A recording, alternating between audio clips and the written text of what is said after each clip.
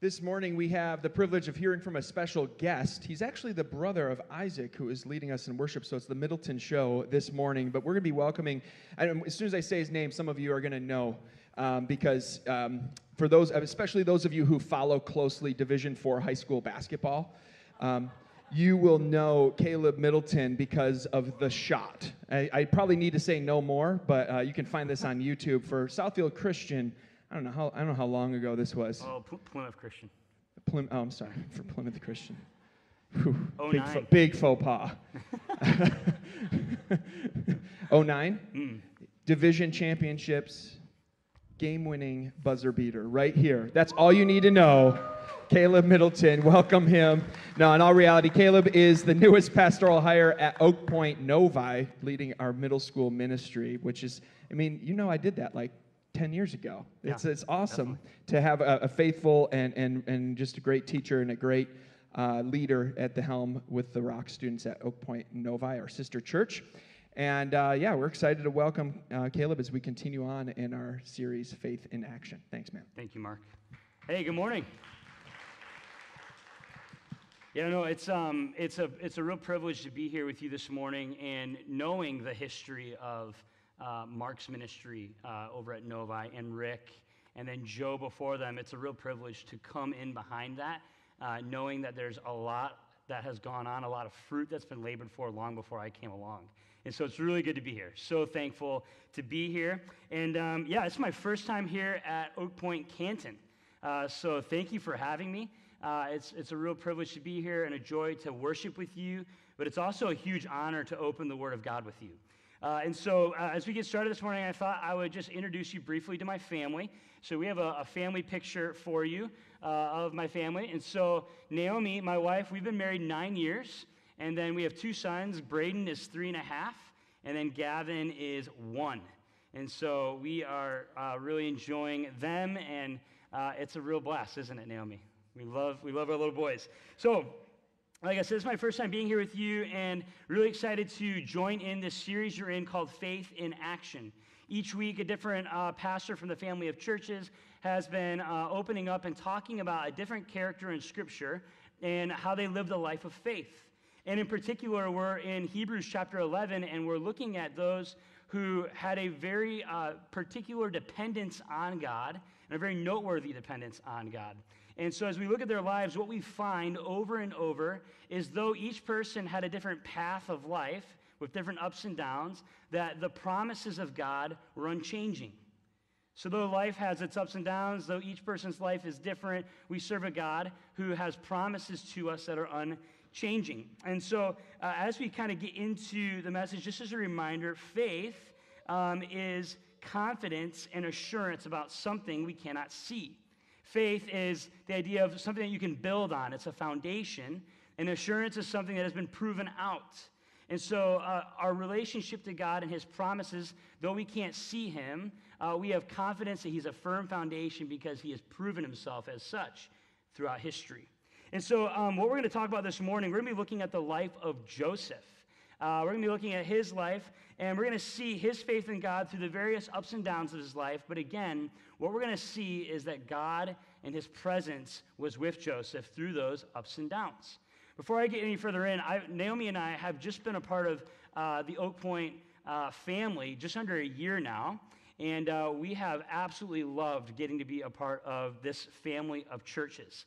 And uh, one of the things that I love about the Oak Pointe family of churches is with regard to our student ministries. We get to do a lot of partnering together for planning retreats and events, and it's really awesome getting to work with someone like Zeke, uh, for instance. So, very thankful for that.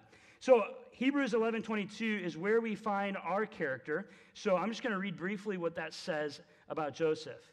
By faith, Joseph, when his end was near, spoke about the exodus of the Israelites from Egypt and gave instructions concerning the burial of his bones. And so when we look at Joseph's life, we see uh, that there was a lot of uncertainty, there was a lot of ups and downs, but God was faithful to be with him throughout his life. And faith is something uh, that, you know, trusting in the promises of God, in particular his presence, requires faith because we can't see him. And so we, we trust that God is there. We have faith that He is there when things aren't going well in our lives. when we're facing temptation and when we are finding ourselves enjoying life.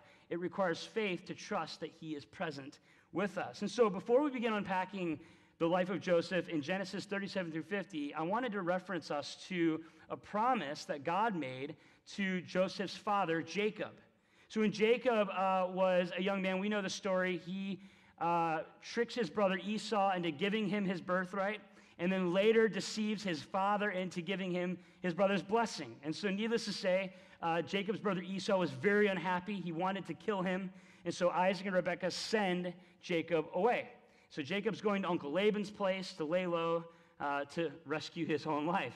And it's on that journey to Laban that, uh, that Jacob in the night has a vision and the Lord visits him. And the Lord makes certain promises to him. I want to read from, for you Genesis 28 15. It says this I am with you and will watch over you wherever you go, and I will bring you back to this land. I will not leave you until I have done what I have promised to you. So, throughout the story of Joseph's life, what we're going to find is that he has various situations where things don't go according to plan, but the consistent thing the scripture tells us is that God was with him. And I like to think that this is in part because of the promise that God made to his father, Jacob. God was with Jacob through his ups and downs in life, and now God is sh- showing that he is faithful to his servant Joseph. And so, through our respective paths in life, though they may be certain, uncertain, the promise of God to us is that he is with us. So, something I've experienced recently that kind of helped me to kind of uh, orient myself around this reality that though life's uncertain, God's presence is steady is um, when I first started working at Oak Pointe Novi back in November, I was commuting from the east side. And so we had a home in Sterling Heights. And so for the first few months in commuting, it was a pretty easy commute. It's about a 40 minute drive. The, the path uh, from my home to the church was pretty much the same every morning. Had plenty of time to mentally prepare for work, listen to music, listen to podcasts, have time with the Lord. It was great. I was actually enjoying the long commute. But then a few months later, they began working on 696. So if any of you travel east, you know uh, the joy of, of construction on 696. And all of a sudden, this commute that was pretty steady on the same routes was now different every morning. Uh, it was different lengths of time, it was a different route.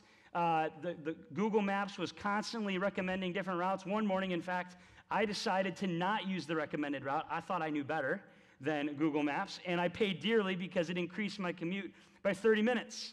Uh, but what I learned, and, and as I'm looking back on this, is the thing that was consistent, even though my route changed, was that Google Maps followed through on its promise to get me to my destination.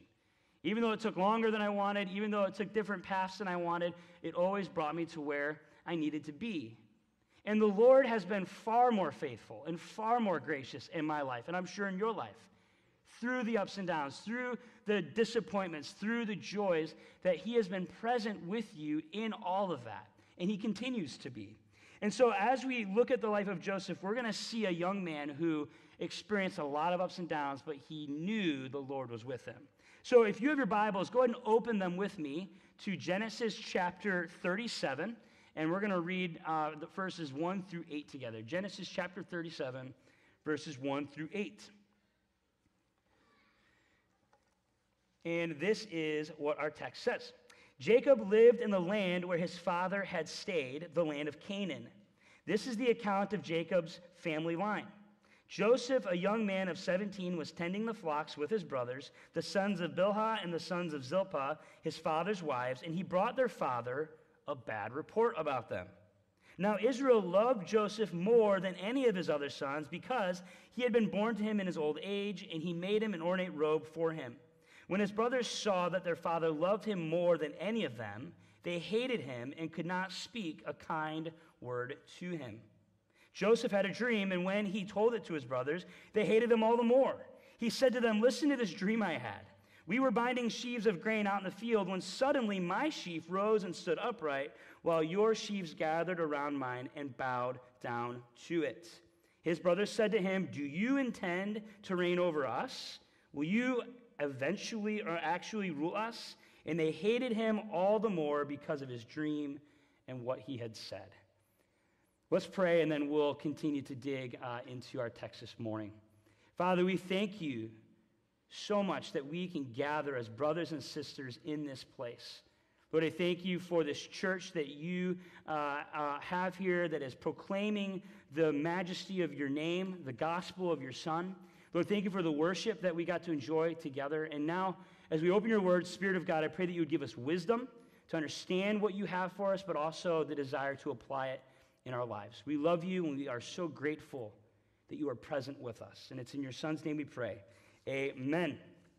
So, a real, real quick background. This story is not unfamiliar to us, I wouldn't think. But Joseph is a 17 year old young man whose primary responsibility is he helps tend the sheep of his father along with his brothers. And um, it doesn't take long for us in reading uh, about Joseph's life to understand why his brothers cannot stand him.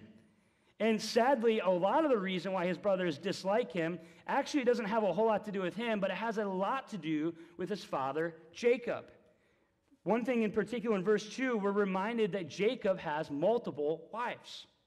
Right? It tells us about Bilhah, and it tells us about uh, Rachel and Leah. And you guys know the story that through Jacob, that, that, that through him come the 12 tribes of Israel. And uh, initially, when he flees from his brother Esau, he comes to his uncle Laban. He begins to work for him, and he's asked, Hey, what do you want to make in your efforts of working for me? And Jacob says, Hey, I'll work seven years for you if you will give me your daughter Rachel in marriage. Right? A lot of time to work, but it says that it went by quickly. He enjoyed it. You all know what happens on the wedding night. Rachel's not in the tent, it's Leah. And so he's been deceived. And so, in order to have Rachel become his wife, he works another seven years for his uncle Laban. And in the course of all this, Laban's deception leads to brokenness in his family. And namely, the reason that there's so much brokenness in this family is because he has four wives and he has one out of the four that he highly values and loves. The others he tolerates. And this continues because then we find the same kind of uh, trajectory with his kids. He has 12 sons, and one of them is his favorite, Joseph. And we know this because he makes him a coat of many colors, and he values him over the other sons. And so there, these are reasons why we see that there's conflict among the brothers, is there's a favorite, and they aren't the one. The other thing is that we, that we find is that Joseph has dreams right? He has dreams, and, and in particular, his dream is that his brothers are going to bow down to him. He is going to rule over them. In the first one, it's just the brothers bowing down. In the second dream, it's his dad and his mom bowing down before him. And so, what we find is different reasons throughout the early 11 verses of this text for why Joseph's brothers cannot stand him. And it has a lot to do with the deception and the sin of his father, Jacob. And so, what we're going to find, though, even though there's a lot of brokenness and there's a lot of dynamics in this family, is that even though Joseph's about to go through some difficulty, again, God is with him. God is present with him in the difficulty. And there are three key thoughts I want to share with you this morning as it relates to the presence of God in our lives. And the first one is this the promise of God's presence gives us faith when our dreams are broken. The presence of God in our lives gives us faith even when our dreams are broken. Genesis 37, 26 through 28 says this Judah said to his brothers, What will we gain if we kill our brother and cover up his blood? Come, let's sell him to the Ishmaelites and not lay our hands on him. After all, he is our brother, our own flesh and blood, his brothers agreed. So when the Midianite merchants came by, his brothers pulled Joseph up out of the cistern and sold him for 20 shekels of silver to the Ishmaelites who took him to Egypt. And then verse 36 says this Meanwhile, the Midianites sold Joseph in Egypt to Potiphar, one of Pharaoh's officials, the captain of the guard. And so, as we consider this, these verses, what we find is Jacob, uh, Joseph's father, has asked him to go and to spy on his brothers. Hey, go and see how your brothers are doing and bring a report back to me. So, already we know that his brothers don't like him. Right? The Bible tells us they couldn't even speak a kind word to him because earlier in the text, he came to his dad with a bad report and it ticked them off. It would tick me off. It would probably tick you off too, right? The, the favorite brother is ratting you out and he's getting patted on the back. But now we see that his father is sending him to go spy on them. And so Joseph goes to them, and before he even reaches his brothers, the unkindness of their words is revealed. They say, Hey, look at that dreamer coming our way. Look at this guy who has these magnificent dreams. And in that, in that portion of text, they begin to conspire about how to kill him. And where we picked up in our reading is that one of his brothers thankfully kept him from being killed, and instead he sold for 20 shekels of silver. So imagine a 17 year old young man who has these dreams that don't even originate from him, these dreams that he has been given that he is going to rule someday. And instead of ruling, what he's confronted with is he is then going from the favored son to becoming the slave. Instead of reigning and ruling, he's actually removed from his family, removed from his land, and taken to a foreign land where he is to serve as a slave for Potiphar. And sadly, again, the theme of deception in the family of Jacob returns. And this time, he's the one deceived again into believing that his son Joseph has been killed. Right? So, this deception throughout this family line is so pervasive, and it creates brokenness and hurt.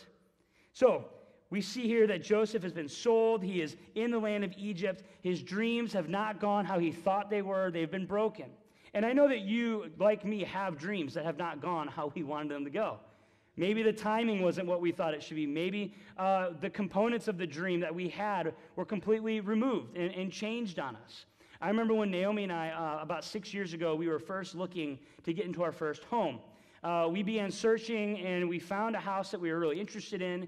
We scheduled a time to go visit the house. And you know how this goes. You get inside and you start to look around and you start to see potential. You start to get emotionally attached and begin to imagine what the house could be. And so we leave after that, we put an offer in, and we get outbidded. Right? The house is not ours. And we were super disappointed. And uh, a few days later, as we continued searching, we found another one. And it was a house that we really liked this time. The layout was great, location. Again, we began to dream, and God opened the door for us to have that home. And as we've talked about it over the years, if it hadn't been for our initial dream of that first house falling through, we would not have enjoyed the provision that God had for us in the house in Sterling Heights. And then it just happened a few months ago. We, had, uh, we were searching for a house because, you know, the hour commute got to be a little much. And so we started searching for a house, and we found one in Plymouth, and we really liked it. We did the walkthrough, all of that, and we got outbidded. We actually were led to believe we were going to get the house, and we didn't.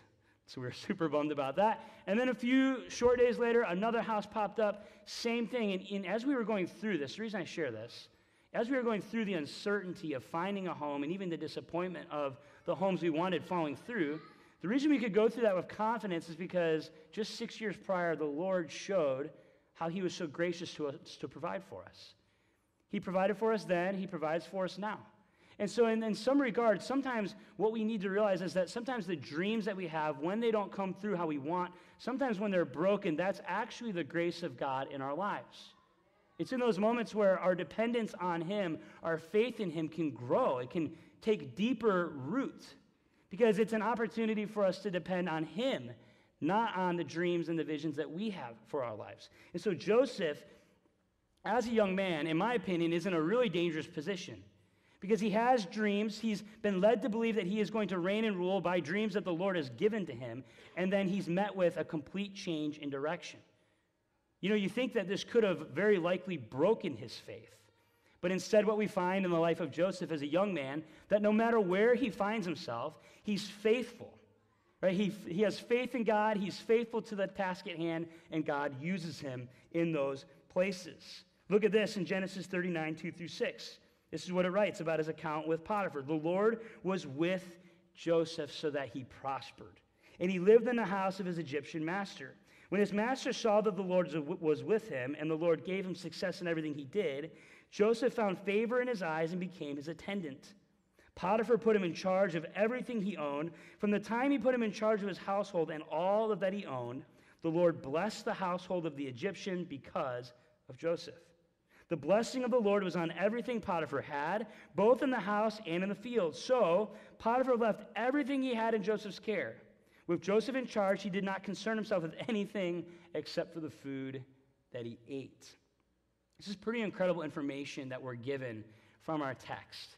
That this 17 year old young boy who was sold by his brothers, taken away from his family and friends, taken away from all comfort he knew, and put into a foreign land, is now attending to this, one of the most powerful men in Egypt and given authority over his home. I mean, think about this. The only thing Potiphar's concerned about is the next meal he's eating.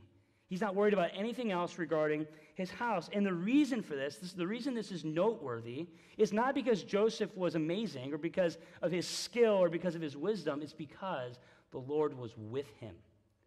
The reason Joseph is blessed is because the Lord is with him. And it goes even further than that. It tells us that Potiphar and his entire household, they were blessed by the Lord because Joseph was with them. And so Joseph goes from being the favorite son to being enslaved, and now we see that he's going from being enslaved to reigning and ruling over the house of Potiphar. And so, already we see some ups and downs, don't we? Ups and downs in his life, ups and downs in the dreams that he has, but the thing that we see already so clear is that God is with him. And like I said earlier, broken dreams for us are opportunities to depend on God. When we find that our dreams or the things that we long for aren't coming in the time we want, we want them, or they're being shifted away from the original desire, that's an opportunity to lean in and to depend on the Lord because He is with you. So, the first thing we talked about is the promise of God's presence enables us to have faith when dreams are broken. But the second thing I want to look at is the promise of God's presence enabling us to have faith when we face temptations to sin. When we face temptations of sin, the presence of God with us enables us to have faith. Genesis 39, 6 through 15 says this So Potiphar left everything he had in Joseph's care. With Joseph in charge, he did not concern himself with anything except the food he ate. Now Joseph was well built and handsome. And after a while, his master's wife took notice of Joseph and said, Come to bed with me. But he refused. With me in charge, he told her, My master does not concern himself with anything in the house. Everything he owns, he has entrusted to my care. No one is greater in this house than I am. My master has withheld nothing from me except you, because you are his wife. How then could I do such a wicked thing and sin against God? And though she spoke to Joseph, Day after day, he refused to go to bed with her or even to be with her. One day, he went inside into the house to attend to his duties, and none of the household servants were inside. She caught him by his cloak and said, Come to bed with me. But he left his cloak in her hand and he ran out of the house. What an impressive demonstration of faith in God and a desire to flee evil. You know, it's interesting. Potiphar is not the only one impressed with Joseph, is he? Potiphar sees that because of the Lord that, that Joseph is blessed and that he is benefiting from Joseph. But now we see that Potiphar's wife is looking on Joseph and seeing the favor that he's bringing to the home. And the Bible gives us other detail about how handsome he is. And now she is longing after him. And what we see here is just a great demonstration of maturity and faith in the Lord. I mean, Joseph has, in my mind, ample reason to justify sin. Right? He has been completely mistreated by his family. He's been removed from his home. He's been taken to a foreign land. And you know how this can be in our lives. We can find ourselves talking ourselves into sin, justifying our desire to sin. And Joseph had reason, not justified reason, but he had reasons to lead himself into this. And yet we find him fleeing from the evil that's before him. The presence of God in Joseph's life didn't just lead to blessing. It didn't just lead to him gaining an influence and power and authority. The presence of God in Joseph's life led him to pursuing a holy life. He wanted to flee from the temptation to sin because of his deep faith in the Lord. And so, as we look at this, we see that the consequence is there. Like, he, he did what was right, he honored the Lord, and he paid for it. And the reality is that there are times in our lives when sin and the temptation to sin is going to entice us with the, the, the, false notion that we can step away from the will and design of God for a time and enjoy it. And that deceitfulness of sin, though it seems attractive at first, only leads to one thing. Sin can only produce one thing in our lives, and that one thing is death. And so Joseph demonstrates faith in the Lord, not only in the blessings he receives from him, but in his desire to live a holy life. And the thing about sin that's so dangerous is it often, especially when we're tempted, it leads us to isolation. Often we find ourselves struggling with fighting against sin in the isolation of just ourselves. And in this case, at least in my mind, Joseph is not leaning on his own strength and power. He is leaning into the presence of God. You see, at least for me, if I was aware of the presence of God, and if I acknowledged it when I found myself frustrated with my children, when I found myself wanting to get mouthy with my wife, when I find myself driving down the road and wanting to get a little frustrated with the people around me, if I was acknowledging the reality of God's presence in that moment, I would have a lot of power to fight against the temptation to sin. And so I believe Joseph, in these moments, he is not even lingering in the desire for sin. He removes himself from it. A quote from Dietrich Bonhoeffer says this about sin. He says, Sin demands to have a man by himself. It withdraws him from the community. The more isolated a person is, the more attractive will be the power of sin over him. And the more deeply he becomes involved in it, the more disastrous in his isolation. The reality is that we have a, a lot of danger that we face as it relates to temptation to sin, particularly when we try to face it alone. Now, Joseph was not sinless.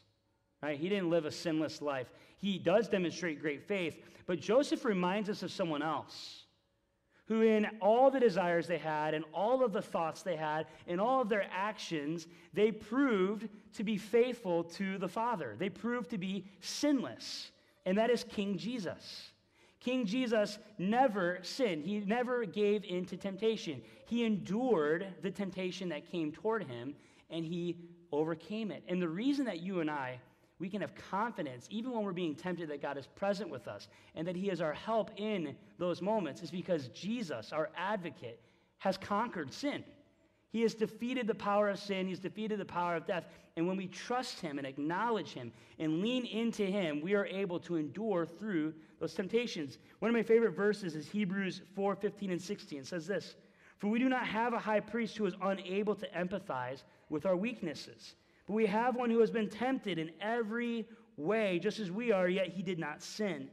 Let us then approach God's throne of grace with confidence, so that we may receive mercy and find grace to help in our time of need. You see, Jesus is more than just a friend to us, he is a representative.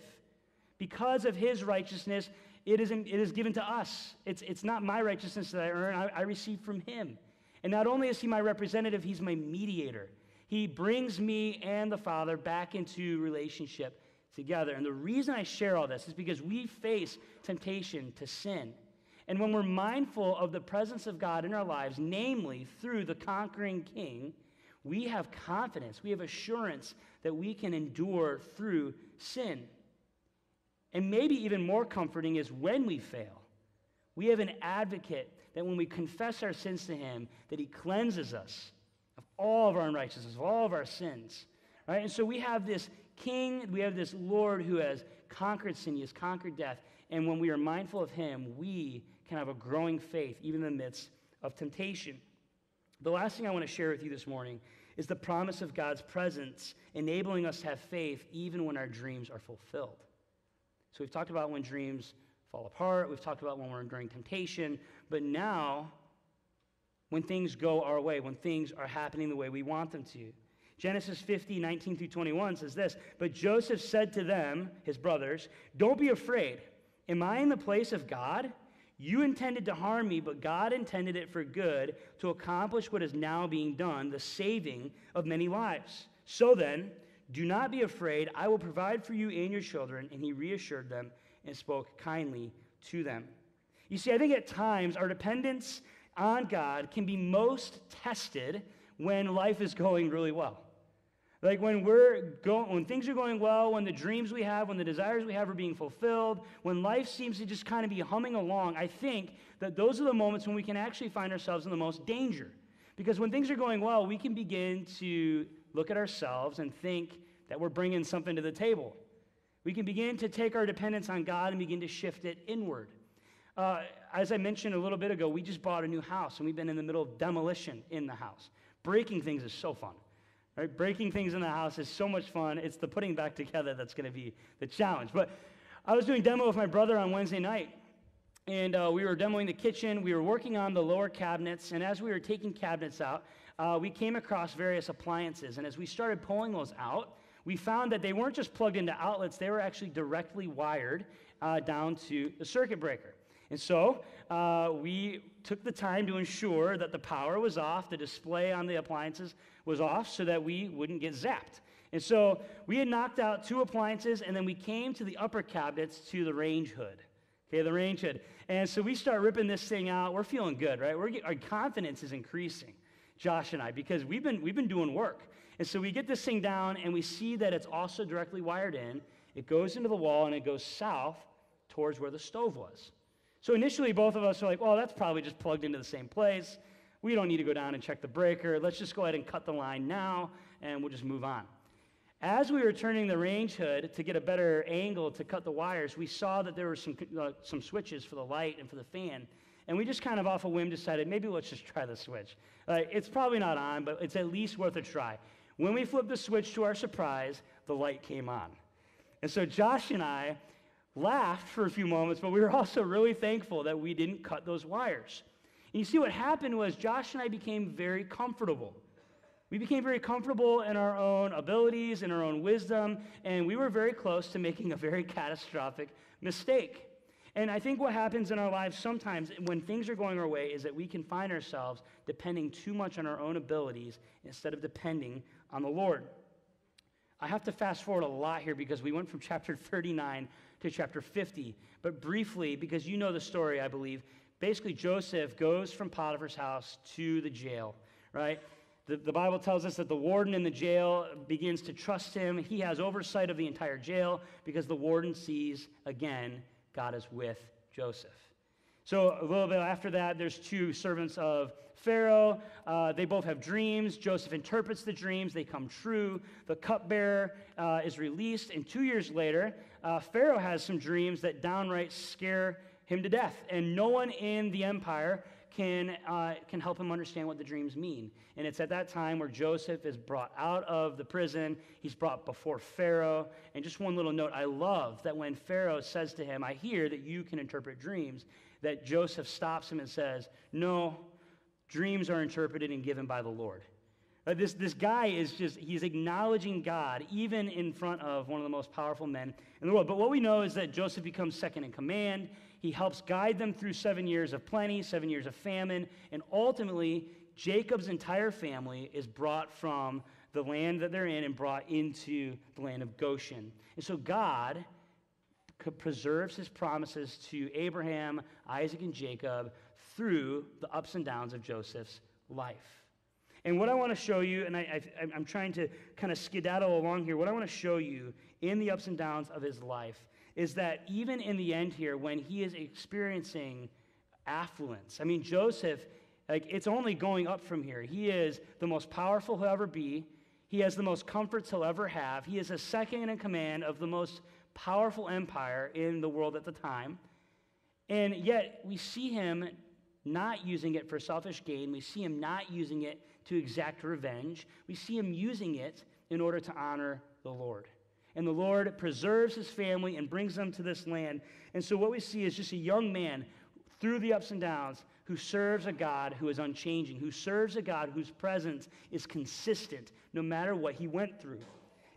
Bless you. The big takeaway from our time observing the life of Joseph is that the promises of God enable us to have faith when things don't go well, when we face temptation, and when life is going as we wish it would.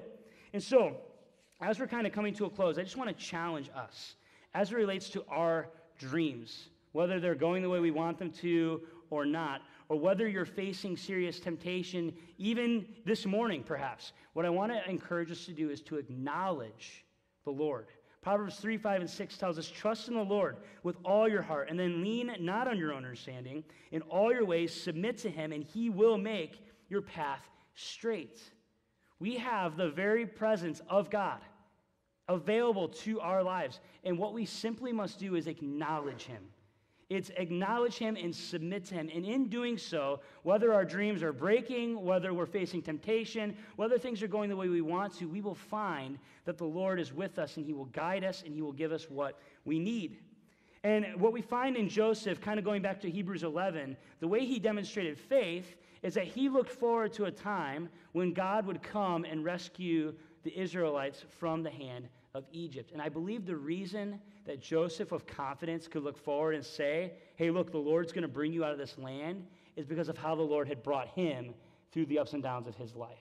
he had found that the Lord was faithful, that he was faithful to give his presence through the ups and downs. And because of that, he could look forward to a time when God would be there for his people and rescue them. Now, if you are a follower of Jesus in the room, you know that through trusting in the person and work of Christ, that you have access to the very presence of God through the person of the Spirit in your life right now. And what I just want to encourage you as you go through the rest of this week, as you go through, as I go through the rest of my life, is to acknowledge the fact that God is with you, that He is present in you. You are not alone.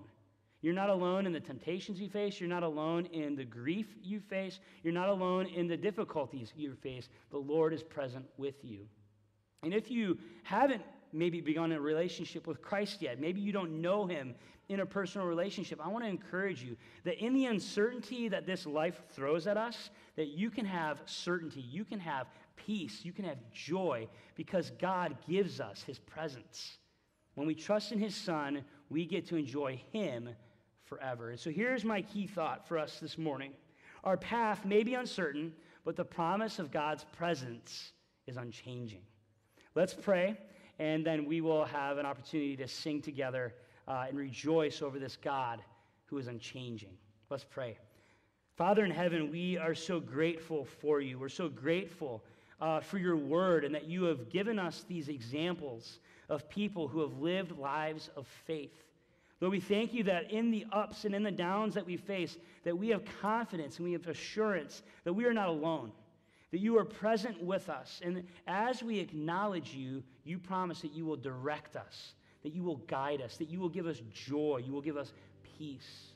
So, God, we praise you for your son Jesus. We praise you that he is our conquering king. We praise you that he has defeated sin and death. And because of him, you don't look on us with condemnation anymore. You look on us as children that you love and cherish. So, God, give us confidence to come to you as a father who is always present. You are worthy of our praise, and we love you. And it's in the name of Jesus we pray. Amen.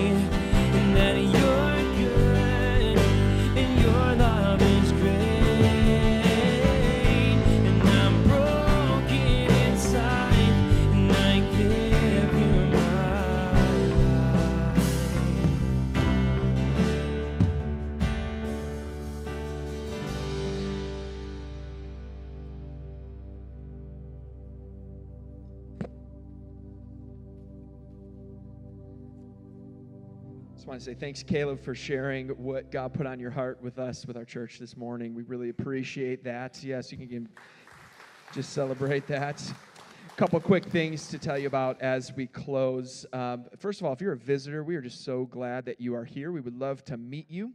Uh, so stop by the Welcome Center. We have a little gift for you.